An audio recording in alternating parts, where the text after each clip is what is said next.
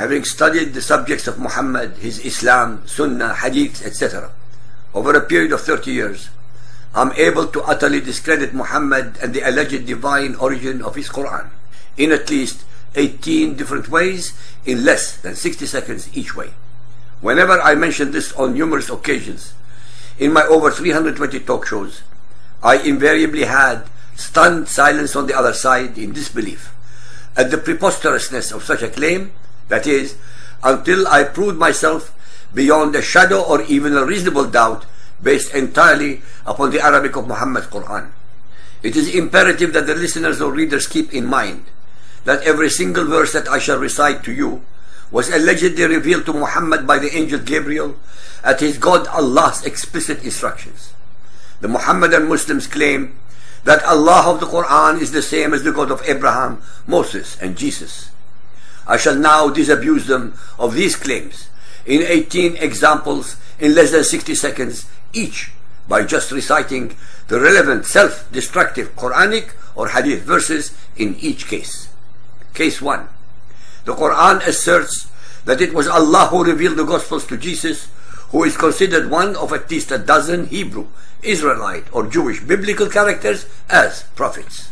Al-Ma'idah 5.46 And in their footsteps we sent Jesus the son of Mary, confirming the Torah that had come before him. We sent him the Gospel, Injil.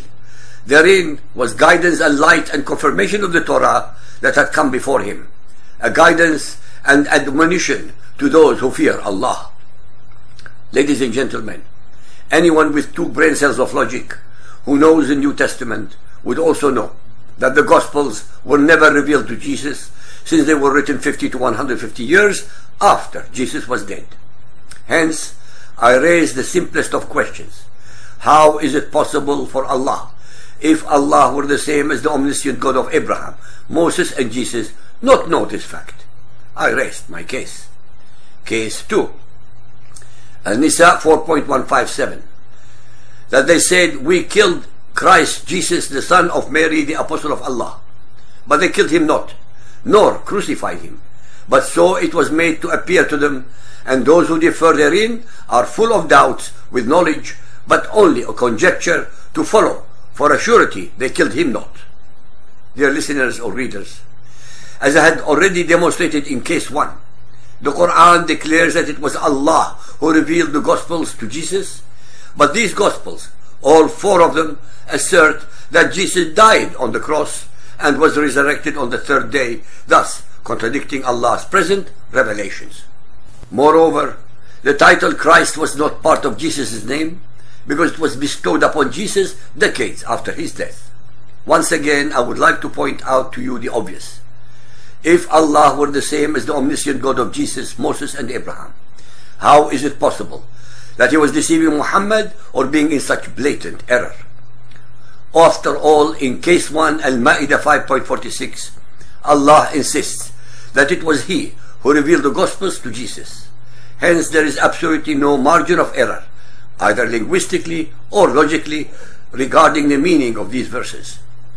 Moreover, Muhammad obliterates the whole concept of Christianity with this single verse, because without death and resurrection, there is no Christianity. Once again, I prove beyond a reasonable doubt, based entirely upon the Arabic scripture of Muhammad's Quran, that Allah cannot possibly be the same as the God of Abraham, Moses, and Jesus. I rest my case once again. Case 3. Al-Imran 3.35 Behold, a woman of Imran said, O my Lord, I do dedicate unto thee what is in my womb for thy special service. So accept this of me, for thou hearest and knowest all things. Al-Tahrim 66.12 And Mary, the daughter of Imran, who guarded her chastity. Maryam 19.28 O sister of Aaron, thy father was not a man of evil, nor thy mother a woman unchaste. These verses are in gross error, since they obviously confuse Maryam, the sister of Moses and Aaron, with Maryam, the mother of Jesus, of 1450 years later period of time. The Quranic absurdities accumulate at a phenomenal pace. The very Gabriel who revealed to Mary, Miriam, the birth of Jesus as the Savior and Redeemer of humanity has somehow, after 600 years, forgotten his earlier mission and given Muhammad an untrue story with Allah's blessing. Case 4. The Quran considers Moses another prophet of Islam as mentioned earlier. For those who are confused or bewildered as to how it is possible for any of the biblical characters to be Muslims centuries before Muhammad and his Quran, the answer is actually very simple. According to the Arabic language of the Quran, Islam means submission to the will of one God. Since almost all the biblical names mentioned in the Quran are of Hebrews, Israelites or Jews, who were believers in a one and only God, then of course they were Muslims. Al-Baqarah 2.53 And remember we gave Moses the scripture Torah and the criterion between right and wrong. Al-Qasas 28.6 To establish a firm place for them, the Israelites, in the land and to show Pharaoh, Haman and their hosts at their hands the very things against which they were taking precautions. In the Bible, Haman was the prime minister of Xerxes, the Persian king in the days of Queen Esther, his wife, of circa 400 BC, and not that of Pharaoh of Egypt at the time of Moses of 1400 BC. Yet again, the God of Muhammad, Allah, did not know his facts. Case 5. Maryam, 19.23 And the pains of childbirth drove her to the trunk of a palm tree. She cried in her anguish, Ah, would that I had died before this, would that I had been a thing forgotten and out of sight. This is an astounding report, since according to the Gospels, as allegedly revealed to Jesus by Allah, Jesus was born in a manger or an inn, and most definitely nowhere under palm tree anywhere in Arabia Deserta. Case 6. Al-Alaq 96.1 Proclaim, in the name of thy Lord and Cherisher, who created, created man out of a clot of congealed blood.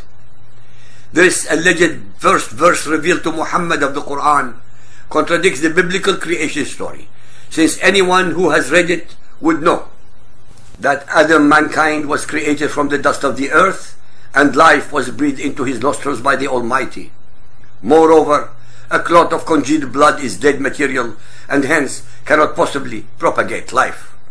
Hence Muhammad's Quran starts, as usual, with a lie. Case 7, Al-Baqarah 2.35.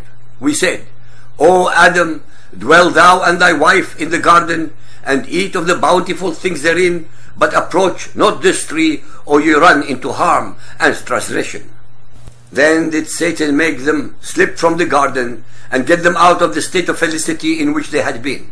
We, Allah said, Get ye down, all ye with enmity between yourselves. On earth will be your dwelling place, and your means of livelihood for a time. These are more blatantly clear contradictions with the biblical original story.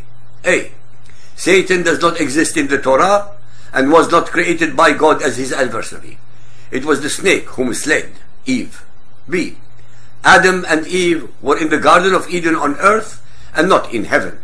They were ordered out of the Garden of Eden, not thrown down from the garden in heaven to earth. Case 8. Taha 20.120 But Satan whispered evil to him. He said, O Adam, shall I lead thee to the tree of eternity and to a kingdom that never decays?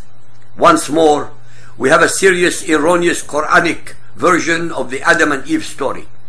It was the serpent, not Satan, that tempted Eve and not Adam. A third error in this verse is that it was only the tree of knowledge that the serpent was tempting Eve with and not the tree of life. The worst omission in the Quranic version of these events is that the name of Eve is not referred to in spite of her centrality and enormous importance to this particular story. Case 9, Al-Baqarah 2.127 And remember Abraham and Ismail raised the foundations of the house, the Kaaba, with this prayer, Our Lord, accept this service from us, for thou art all-hearing, all-knowing. The Quran is wrong yet again, since the biblical original story about Abraham mentions nothing of Allah, Kaaba, or Arabia, nor that Abraham and Ishmael, the first true monotheists, were ever in Mecca, 1,000 desert miles away from Canaan, to raise the foundations of a temple of idolatry. If Allah were the same as the God of Israel and Jesus, then he has been failing miserably and continuously in his attribute of being all-knowing or omniscient. Case 10, Al-Kahf 18.83. They asked thee concerning Zulqarnain, say, I will rehearse to you something of his story. Until when he reached the setting of the sun, he found it set in a spring of murky water. Near it, he found the people. We said, O Zulqarnain, either to punish them or to treat them with kindness. The Quran, allegedly the greatest book of knowledge, ilm, asserts that the sun, which is one million times the size of the earth, sets in a puddle of murky water. Case 11. Al-Isra 17.101. To Moses we did give nine clear signs. Ask the children of Israel. Al-Naml 27.12. O Moses, now put thy hand into thy bosom, and it will come forth white, without stain, among the nine signs to Pharaoh and his people. Even when concerning the most famous and most important set of miracles, the ten plagues of Egypt in the Bible, the Quran gives the wrong number, nine instead of ten, as confirmed by the children of Israel when we asked them. Furthermore, the whitening of Moses' hand is not part of the miracles of the ten plagues. Case 12. Al-An'am 6.74.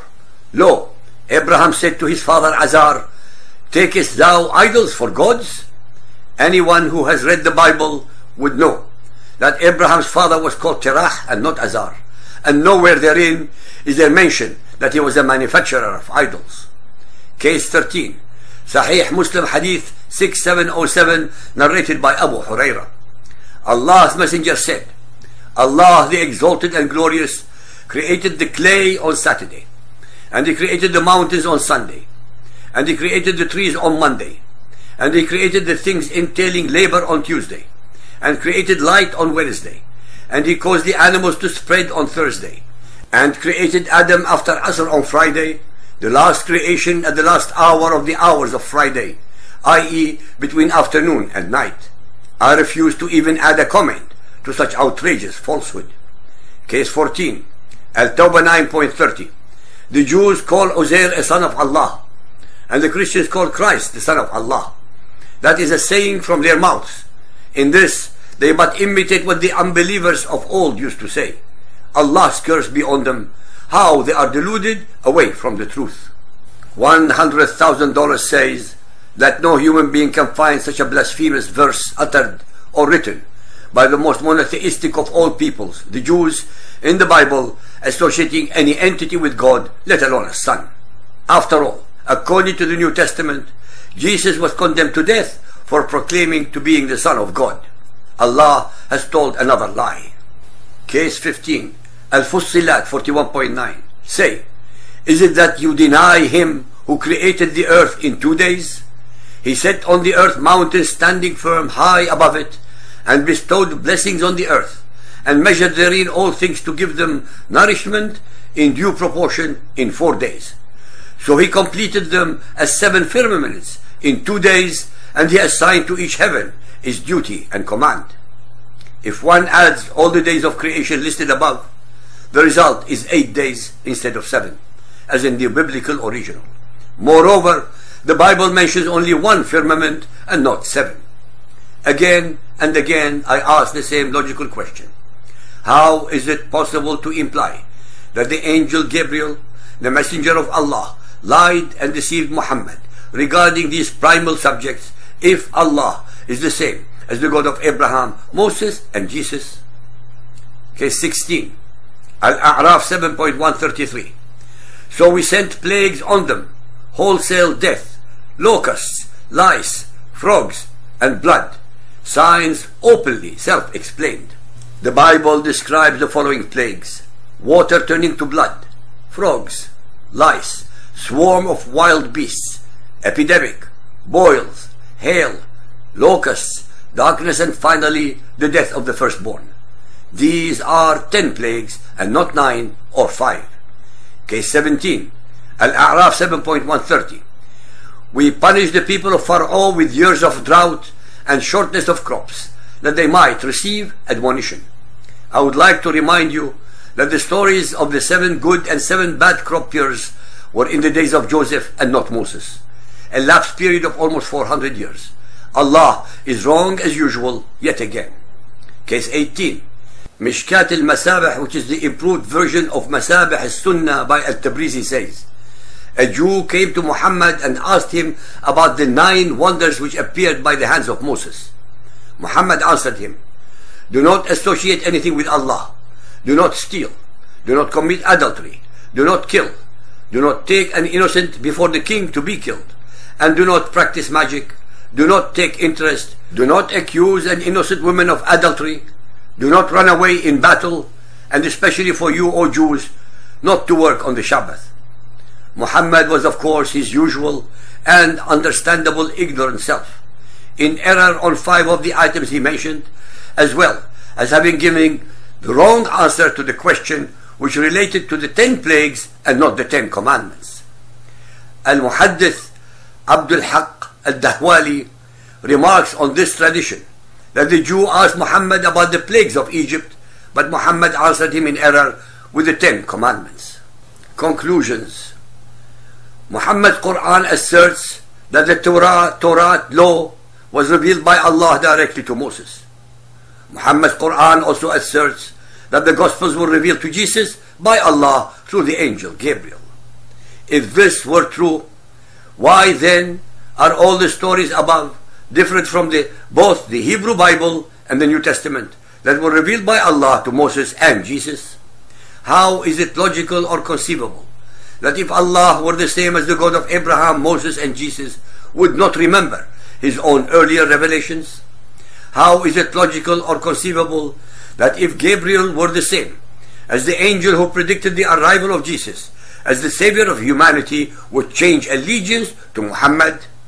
No objective, logical, rational, and just human being can ever believe, after listening to or reading the plethora of confusing and utterly asinine subjects being listed herein, that any omniscient, moral, just, merciful, and compassionate divinity could have ever revealed them.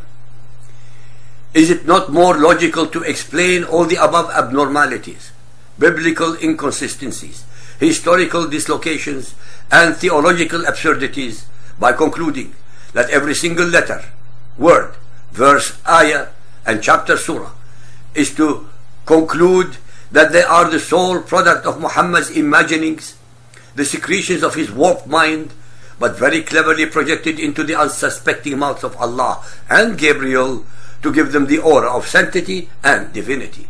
Thus, in an instant of clear thinking, one can understand why Allah and Gabriel are shown to be such imbeciles in Muhammad's Quran and Sunnah. In a nutshell, Muhammad, Gabriel, Allah and Satan are all one and the same. Muhammad. Furthermore, no human being can find a single new, decent, logical and articulate idea, thought, concept or precept in Muhammad's Quran that is in any way, shape or form equal to or superior to what Muhammad and his followers have invariably plagiarized, plundered, pirated and or perverted from the stories, traditions, fetishes of the Bible and others. Ladies and gentlemen, throughout the history of Muhammad and Islam, and even the Arabs and Muhammadan Muslims of today, they invariably do the same to the thoughts, ideas, concepts, inventions, etc. of other civilizations and peoples, and brazenly assert they are their own and actually believe their own concocted myths. All cases are now closed.